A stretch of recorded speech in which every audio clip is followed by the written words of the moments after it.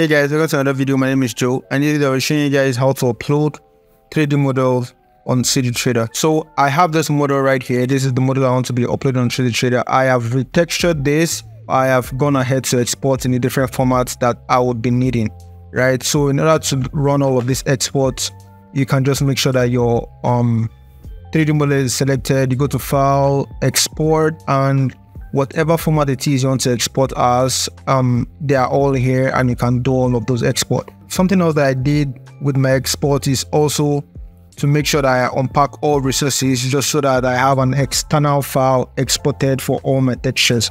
Now I'll move to my files and I'll show you what that looks like because whenever someone wants to use an OBJ file, they will need all of those texture texture maps. So uh, if I move to the side here, you would see that I have an Alembic file. This is an ABC file I have a blend file, um, the OBJ file also. Then I have a USDC, um, which is like a new file format that kind of unifies all 3D platforms to use one um you know one format. Then i have some images exported already that i'll be using as image preview. These are images and shots taken from you know the taken from my blend file. And these are images i'll be using for my cg trader upload so when um, I'm just going to go to uh, my browser and I'll type CG Trader so we can just open a new and fresh um, page. This is my CG Trader account. I'm just going to go to my models and you would see that I have about uh, maybe like eight models. Some of it free, some of them are paid files. Okay, in order to create a um, new 3D model you want to upload on CG Trader, you have to come here to publisher or you can come here to publishing. The first thing I want to upload are my image previews. I'm going to go down here to image preview and upload all my image previews.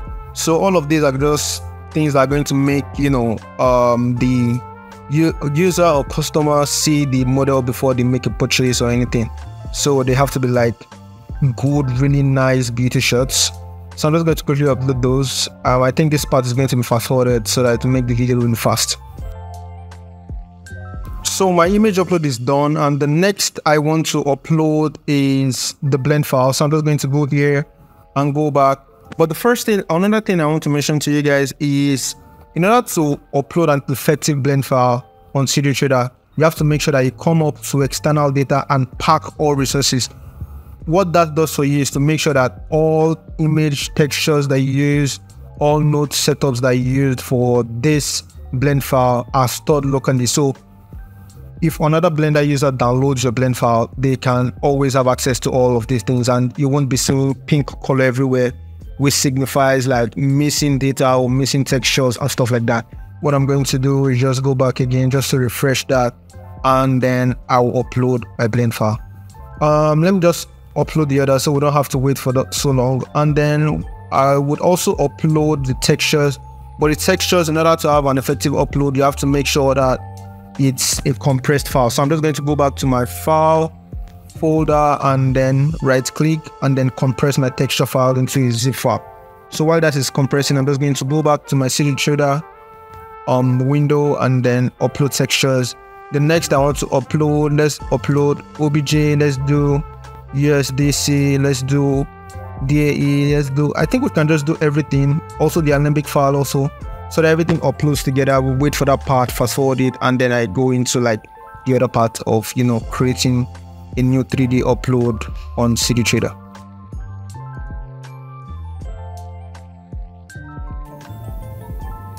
all right so we're about done uploading those images and i think that's about the last one the last one was the Collada file, which understandably is um, a little bit large, but it contains no animation sound. I, I wonder why it took so much time. But the next thing I want to do is to upload some more images. I exported some wireframe images while on my files are uploaded because I felt like it was um, an important um, aspect of you know of the model to showcase. So I uploaded some wireframe images. These are this is where the beauty pass ends and this is where the wireframe images um start. So I will just select all those. I think uh, from 9 9 to 13 are the wireframe images. So these will upload really fast. the next I'm going to do is probably um, go through my files, uh, particularly the blend file, so I can name which version it was created with. This was created with Blender 3.2. So we want to click native and make sure that we have Blender 3.2 selected in this space right here. And um, our texture file is correctly imputed, but we have a really low score right now. Our score is 6.5, which is not so bad. It's not in the red place but we can still get this up to say 7.5 um we're going to upload a youtube preview and i'm lucky enough i have a youtube video where i you know made this 3d model. I'll just click for that youtube video. This is it. It has about 300 views. Not bad. I will just um i'm funny enough i'm wearing the same shirt. So i will just move on to this and add the YouTube video to this link. So another thing I want to do is arrange this in a sequence that, you know, probably tells a story about, you know, how magnificent the model is and how it looks. I would start with this um shot right here. This shot is a low angled shot and it really shows the massiveness of the building. So I would start with this, then I'll switch to a close up then I would make sure all the wireframes are last.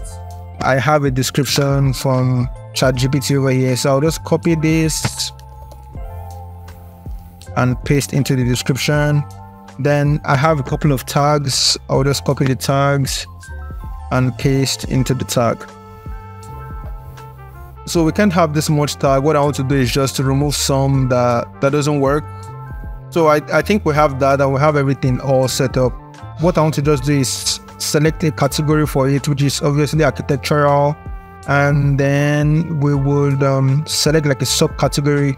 Let's say the subcategory will be like um, let's do street, and this model is just going to be free for free for download, and we'll just be able to share for everyone to use. We have our publishing score up to 8.2 right now. I think we're all good on this model. I would just click publish and so the model is right is live right now. So that's it guys. So long and until i see you in the next one. Peace